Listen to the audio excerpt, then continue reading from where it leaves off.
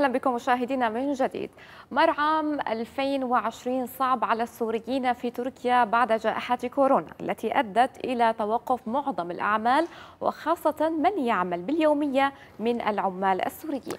فكيف كان عام 2020 على السوريين في تركيا من النواحي التعليمية والمعيشية والطبية؟ هو ما سنتحدث عنه ولكن بعد هذا التقرير. السوريون في تركيا يواجهون واحدة من أصعب السنوات التي مرت عليهم بعد تسعة أعوام من وصول نحو أربعة ملايين سوري موزعين بين المدن التركية ليصبح كوفيد 19 العامل الأبرز في ترسيخ هذه الصعوبات. 2020 العام الذي شهد ظهور جائحة كورونا كان ثقيلا على السوريين الذي أثر في مناح كثيرة كالتعليم والعمل بعدما فاقمت معدلات التضخيم من زيادة الحاجة بينهم وإضافة مساهمة انخفاض قيمة الليرة التركية أمام العملات الأجنبية في انخفاض الدخل وارتفاع أسعار المواد الأساسية. السلطات التركية اتخذت قرارات بتطبيق إجراءات للحد من انتشار الفيروس الذي كان لها الأثر الكبير على فرص عمل السوريين وقبول معظم عمال المياومية بأجور متدنية لسد إيجارات المنازل على أقل تقدير. وبحسب الأرقام الرسمية فإن العمالة السورية تقدر بنحو 700 ألف عامل غالبيتهم يعملون بشكل غير رسمي. أما من الناحية التعليمية فقد كان عاما قاسيا بعد قرار مفاجئ من التربية التركية بفصل نحو سبعين مدرسا سوريا من المدارس التركية دون إخطارهم بإنهاء عقودهم الموقعة مع وزارة التربية التركية ومنظمة اليونيسف أما الطلاب فقد وجدوا صعوبات بالتعلم عن بعد بعد إغلاق المدارس نتيجة صعوبات اللغة. وفي ظل جائحة كورونا لم يتم تمييز السوريين عن باقي الأتراك باتخاذ الإجراءات المناسبة لتلقي العلاج والرعاية الصحية في المشافي الحكومية. وقامت المراكز التابعة لمفوضية الاتحاد الأوروبي باستقبال المرضى السوريين لكن قرارات إغلاق المعابر الحدودية مع الشمال السوري أثرت في المرضى الذين يتلقون العلاج في تركيا ما أدى إلى وفاة عدة حالات. مع نهاية عام 2020 ما يزال السوريون يبحثون عن حلول لإخراجهم من دائرة الحاجة والعوز على أمل أن يكون العام القادم أكثر أمانا وازدهارا لهم. بنرحب بكل من انضم إلينا عبر البث المباشر على منصات تلفزيون سوريا على مواقع التواصل الاجتماعي وأيضا سينضم إلينا شبكة مراسلين للحديث أكثر حول وضع السوريين في تركيا خلال عام 2020 معنا سيما نعناعه مراسلتنا من إسطنبول وأيضا وائل عادل مراسل تلفزيون سوريا من عنتاب وعبادة منصور مراسل تلفزيون سوريا من انطاكيا مرحبا بكم جميعا وكل عام وأنتم بخير. مرحبا بكم جميعا سيما عبادة وأيضا وائل. البداية معك عبادة مساء الخير من جديد. آه، نبدأ من هاتاي. كيف هو وضع السوري اليوم في هاتاي مع آه، ساعات و2020 تنتهي ونحن على أبواب 2021 ما هي الآمال؟ مساء الخير لك ولجميع الزملاء. حقيقة عام 2020 بحسب أغلب السوريين الموجودين في هاتاي هو أسوأ عام مر عليهم منذ لجوئهم إلى تركيا خلال هذا العام. عدة مناحي آه، مناحي العمل ومناحي التعليم ومناحي الصحة. جميعها تأثرت ب خلال عام 2020 أبرز هذه ابرز هذه المشاكل التي تعرض لها السوريين خلال عام 2020 هي تأثر أعمالهم وتوقف الأعمال.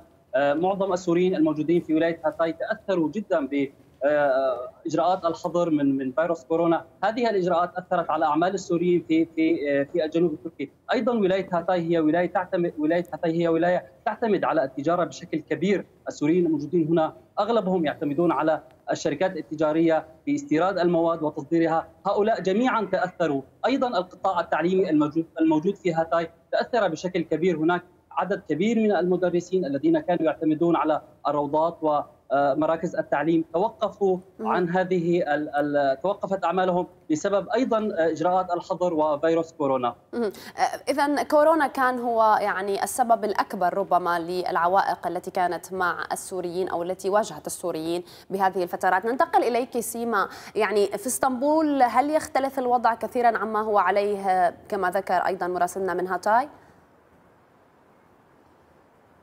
مساء الخير روان شكرا لك. الواقع لا يختلف وضع السوريين في تركيا في أي مدينة كانت سواء كان في اسطنبول أو هوتاي أو غيرها. ولكن ربما اسطنبول تعد أكثر, أكثر المدن التي تأثر بها السوريين. وذلك نظرا آه، لأعدادهم الكبيرة. هنا إذ يتجاوز عدد السوريين في اسطنبول أكثر من 500 ألف آه، نسمة في اسطنبول. ما هم مسجلون مسجلين قانونيا. إن أردنا التحدث عن وضعهم فلقد تأثر وضعهم بشكل اقتصادي واجتماعي بالإضافة إلى الوضع الصحي وحتى الوضع التعليمي. آه، بما يتعلق بالوضع الاقتصادي آه، يعتمد السوريين هنا بشكل كبير على آه، ورش العمل سواء في مجال النسيج أو حتى في الصناعات الصغيرة بالإضافة إلى المطاعم. كما نعلم أن المطاعم أو قطاع الفندقي أكثر القطاعات المتأثرة. وهو أكبر شريحة عملت فيها السوريين سواء كان على مستوى العمالة أو حتى على مستوى رؤوس الأموال. وخلال تغطيتنا لأوضاع السوريين خلال هذا العام الذي تزامن مع كورونا والتي أثرت على العالم أجمع كان الوضع سيء جدا سواء سواء بالنسبة للعاملين في قطاعات الأنسجة أو المطاعم. طيب. طب سيما كان هنالك العديد من العمال السوريين بقيوا بلا عمل. دائما نسمع عن محاولات ل يعني آه، مراعاة أوضاع السوريين وربما خطط جديدة. هل من المتوقع أن يكون هناك أي شيء على العام القادم فيما يتعلق بأمور السوريين الأكثر ضعفا اقتصاديا؟ آه، في الواقع آه، روان هو سؤال محزن آه، للغاية. إنها يا هنا الحكومة التركية تعمل يارا عفوا. آه، الحكومة التركية تعمل آه، بجد للتخلص من الآثار السلبية آه، لكورونا على على تركيا. بالنسبة للمواطنين الأتراك لكن المواطنين السوريين متأثرين أكبر أكثر بكثير وذلك لأن أوضاعهم غير قانونية. إذا كنت تتكلمين عن عمل يوجد فلنفترض قانون عمل يحمي المواطنين الأتراك يوجد وإن لم يأخذوا معاشهم بالكامل على الأقل يأخذون نسبة معينة نسبة مئوية معينة من معاشاتهم آه، تسد آه، حاجتهم الأساسية على الأقل لتقدير لكن السوريين عندما بقيوا بلا عمل هم بقيوا حرفيا بلا عمل.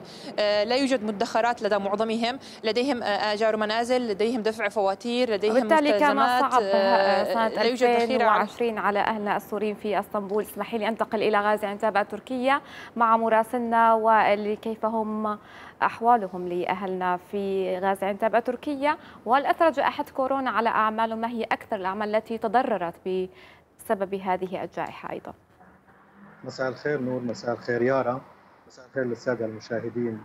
في الحقيقة يعني عنتاب كباقي المدن التركية عنتاب تعد آه، آه، المدينة في الترتيب السادس من حيث كثافة السكان آه، فيها مليونين تركي فيها 500 ألف سوري كمان.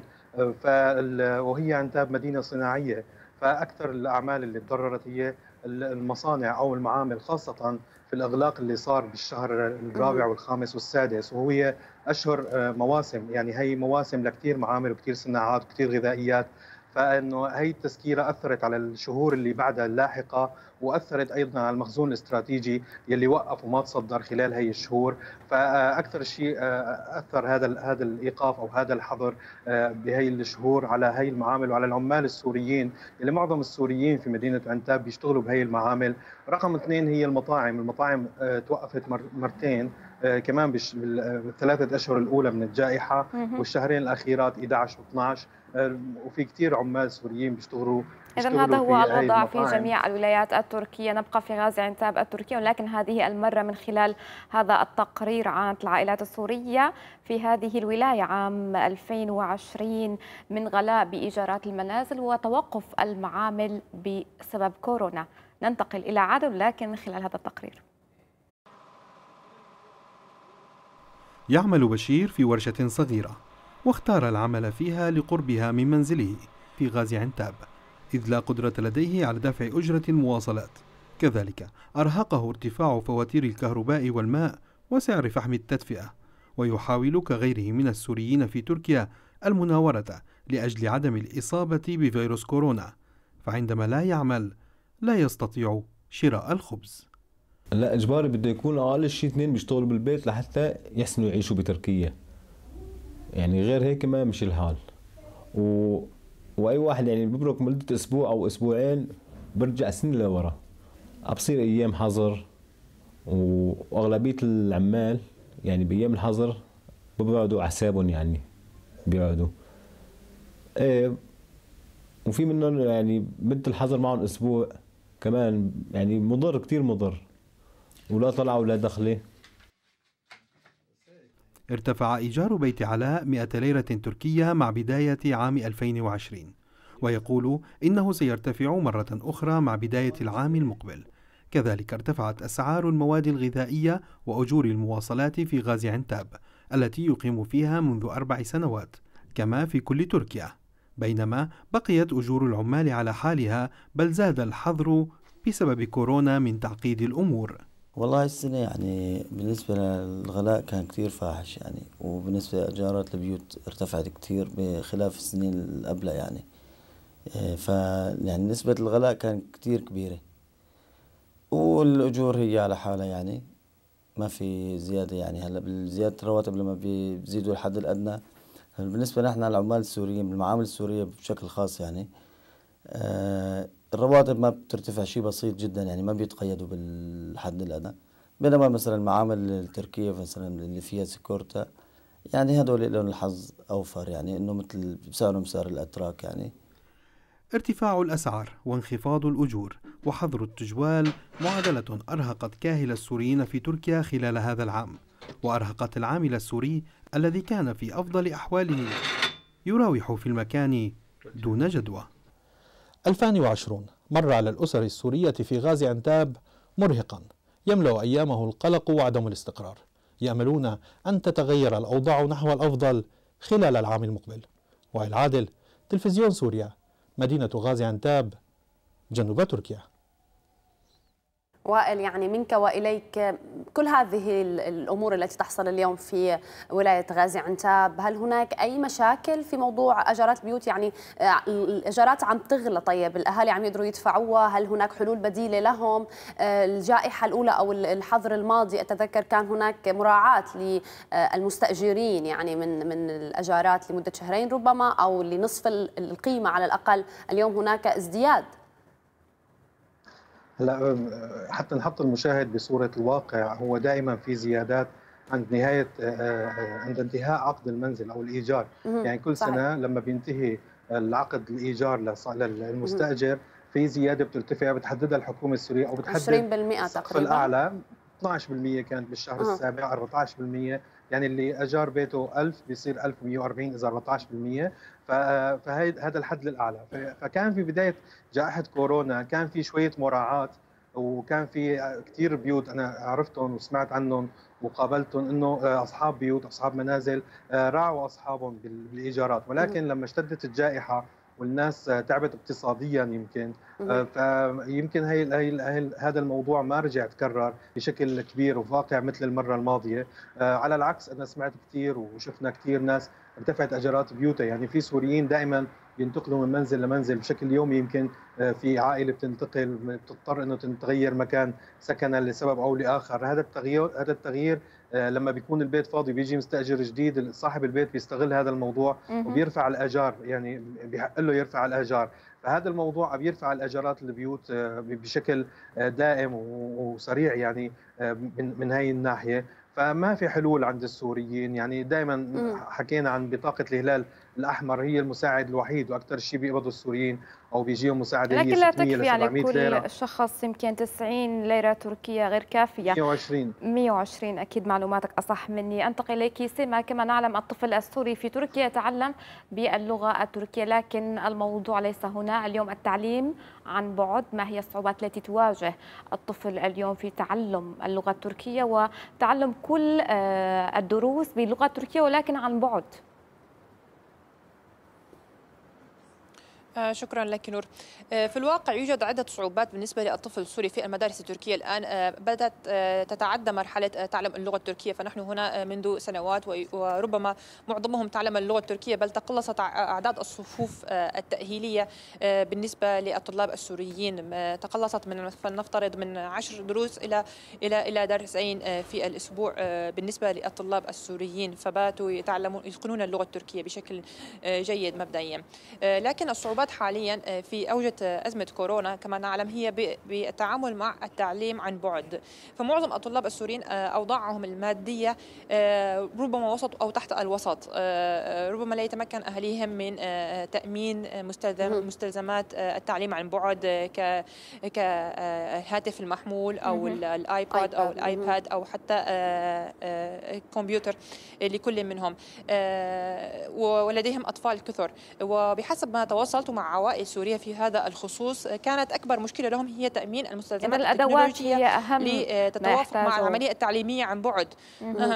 نعم. دعيني انتقل أه. اذا فكانت هذه أكبر مشكلة وعقبة بالنسبة لهم. نعم سيما. دعيني انتقل أيضا لعبادة قبل فترة سمعنا عن مخصصات تفرزها أو تخصصها الحكومة التركية لبعض العوائل وكانت موجودة على تطبيق الإي دولت المخصص لكل شخص تقريبا ألف ليره تركية، هل لديك معلومات عن هذا الموضوع؟ ومن هم العائلات أو الأفراد اللي توفرت لهم هذه المبالغ؟ نعم يارا خلال الشهر الماضي الهلال الأحمر التركي أرسل مساعدات لعدد كبير من العوائل السورية. طبعا هذه المساعدات هي ضمن الشروط التي ضمن العوائل التي تنطبق عليها شروط الهلال الأحمر وهي العوائل التي يوجد فيها مسين أو يوجد فيها أحد الأشخاص من ذوي الاحتياج ذوي الاحتياجات الخاصة ولا يوجد فيها معيل. هذه المساعدات كانت هي عبارة عن ألف ليرة ألف ليرة تركية مقدمة لهذه الأسر. طبعا في جميع الولايات التركية، أيضا الهلال الأحمر التركي يقدم مساعدات بشكل شهري هذه المساعدات تصل لهذه الأسر التي تنطبق عليها الشروط كما كما ذكرت. وهناك أيضا مساعدات مع فصل الشتاء هذه المساعدات هي مساعدات لوسائل التدفئة. هي مساعدات يعني شهرية عبادة أم لمرة واحدة فقط؟ نعم يرى الألف ليرة التركية هي لمرة واحدة فقط. هذه المساعدات كانت مخصصة للأسر التي تضررت من من فيروس كورونا، لكن المساعدات الشهرية هي حوالي 120 ليرة لكل لاجئ موجود في تركيا، طبعا لحوالي مليون و800 ألف سوري موجودين في تركيا.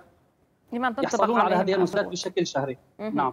أعود إليك سما دعينا نتحدث قليلا عن القطاع الطبي كيف كان أداء المراكز الطبية السورية أو حتى التابعة للاتحاد الأوروبي بمعالجة السوريين الذين أصيبوا بكورونا وغيره أيضا من الأمراض خلال عام 2020 في الواقع المراكز الطبية السورية أو حتى التي تتعامل مع اللاجئين السوريين سواء كانت تبع الأمم المتحدة أو الاتحاد الأوروبي لم تتعامل معهم بشكل مباشر فيما يخص كورونا. فكانت الحكومة التركية تتولى هذه العملية بشكل كبير ومكثف بالإضافة إلى أن علاج كورونا أو حتى الأدوية التي تعطيها الحكومة تتوفر فقط لدى المشافي الحكومية. وبالإضافة إلى فحص كورونا فقط كان يجرى لدى مراكز الدولة المرخصة أو التي يسمح لها بإجراء هذا الفحص فكانت المراكز الطبية التي تعنى بالسوريين تعمل بشكل بسيط مع حالات معينة وبحسب تواصلي مع عدد من المراكز الطبية لا سيما في منطقة الفاتح التي يكثر فيها السوريين قيل إن السوريين يعني كانوا يأتون لثقتهم أكثر وذلك من ناحية سهولة التعامل باللغة اللغة. نعم. وغير ذلك كانت الأجور رمزية أجل لكنهم لم يكونوا يتلقوا العلاج بشكل كثيف إلا في حالات الطفيفة كما ذكرت أي الإصابات البسيطة ليست في ليس في الحالات الحرجة. فيما عدا ذلك كانت المراكز تعمل بشكل مكثف بهذا الخصوص. لكن في الآونة الأخيرة وكما قال لي أحد الأطباء في المراكز الطبية لقد انخفضت أعداد المصابين الأجانب أو حتى السوريين الذين يرتادون هذه المراكز.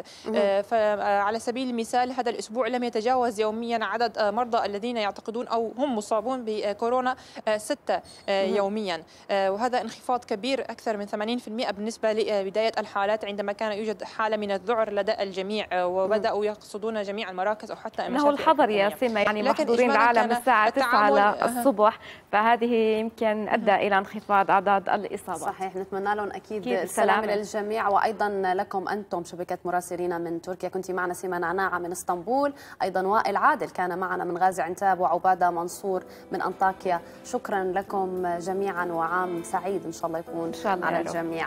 فاصل قصير ونبدأ بالساعة الثانية من التغطيه لهذا اليوم. ابقوا معنا سأريد أن أتعلم وأنا مسافر